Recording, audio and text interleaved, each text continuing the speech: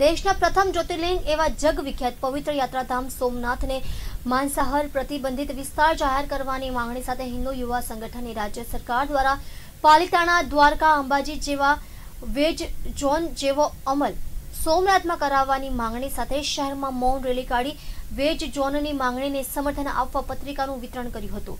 હિન્દુ યુવા સંગઠનના જણાવ્યા મુજબ સોમનાથમાં રોડ પર માંસ મટનનું વેચાણ થતું હોવાથી સોમનાથ મહાદેવ મંદિરે આવતા દર્શનાર્થીઓની ધાર્મિક લાગણી દુભાઈ રહી છે. માટે સોમનાથમાં નોનવેજ પર પ્રતિબંધ મૂકવાની માંગણી સરકાર સમક્ષ કરી હતી.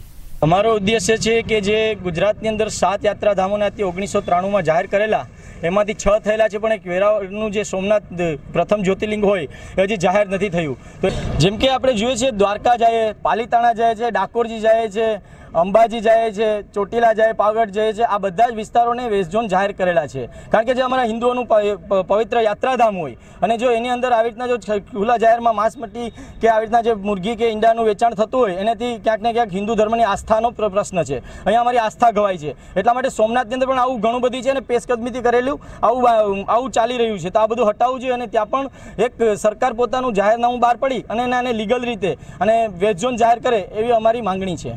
અમે સરકારમાં કલેક્ટર, કલેક્ટરશ્રી દ્વારા અને અહીંના ધારાસભ્યશ્રી દ્વારા અમે અલગ અલગ ભૂતકાળમાં ઘણીવાર અલગ અલગ સંસ્થાઓ દ્વારા અને હિન્દુઆ સંગઠને અને સોમનાથ સેવા સંઘે પણ આની માંગ કરેલી છે. પણ આ છેલ્લા બે અઢી વર્ષ કે ત્રણ વર્ષથી મારી માંગ છે પણ પૂર્ણ નથી થઈ એટલા માટે અમે આને આંદોલનનું સ્વરૂપ આપવા માગીએ છીએ.